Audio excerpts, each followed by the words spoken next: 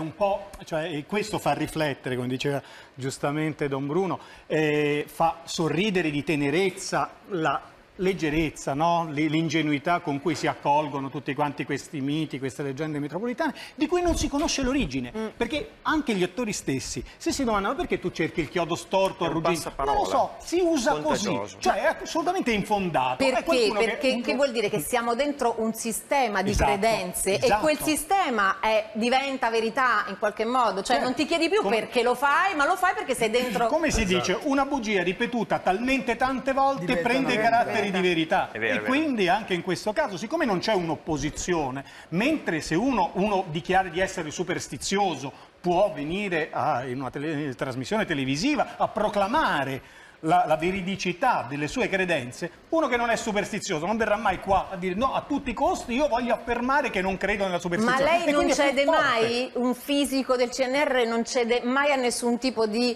superstizione a scaramanzia? Allora, distinguiamo. Se parliamo e. Esatto. Se parliamo di una ritualità, di una liturgia, per cui ci si sente più a proprio agio. Prima di un esame, ad esempio, ci sono degli studenti che bevono tre caffè. Non perché tre caffè, il tre sia un numero liturgico, apotropaico. No, perché tre caffè danno una dose di caffeina che conferisce una carica poi Però è nell'esame. un'altra cosa quella, È no? un'altra cosa, ma lo fanno sistematicamente, lo fa? fanno in maniera... No, io non faccio. Ma se, ca- gli esami, gli esami ma se cade al- il- del vino a tavola, A tavola. lei prende... Faccio le libagioni. Ma non sì, fa, quella- la no, non fa questa cosa che se Ma lo mette questo in può essere divertente perché può È fare parte... però, sì, eh? perché, perché così ci si Dipende rende simpatici e commensali, poi dipende dal vino.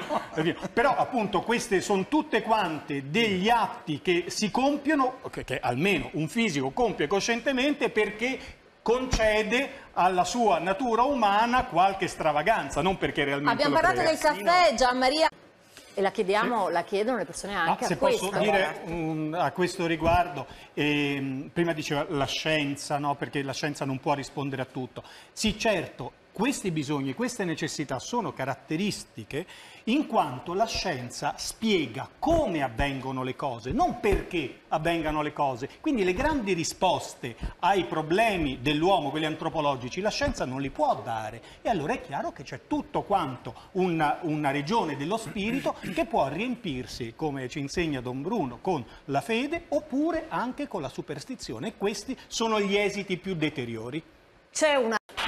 No, io posso dire Valerio. Rossi Albertini, la voce della scienza, il fisico del CNR ci illumina sul matrimonio.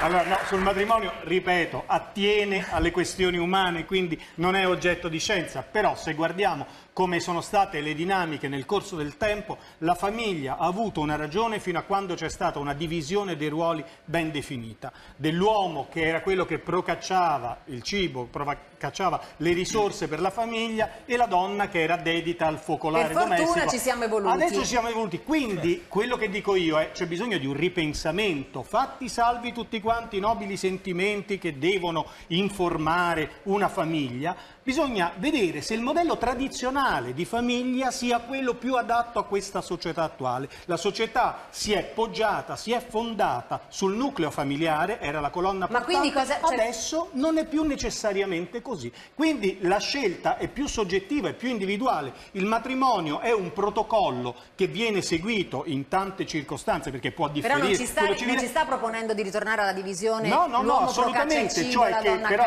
a questo punto non c'è più una necessità di seguire una regola universale. Certo. Una re- Ognuno può decidere la forma di convivenza, la forma di adattamento all'altro che può comportare poi sentimento, fedeltà e tutte quante le al- gli altri istinti spontanei che genera un'unione, ma che non deve essere più necessariamente inquadrato nell'ambito circoscritto del matrimonio Questo storico. Valerio vale per i rapporti però interpersonali, uomo-donna oppure due uomini e due donne. Esatto, Ma quello- quando c'è di mezzo la famiglia, qua subentrano anche delle altre dinamiche, degli altri valori, per cui non è sufficiente dire il ruolo del cacciatore, il ruolo di chi fa figli, ma subentrano anche delle responsabilità sociali e collettive Quelle- che sono e evidenti. quelle, infatti dicevo, fatte salve quelle responsabilità che però possono essere esperite, possono essere espresse in tante maniere differenti. Adesso c'è ad esempio il modello della famiglia allargata in cui tutti quanti si prendono cura dei bambini senza che necessariamente ci sia un rapporto biologico tra il padre e il figlio.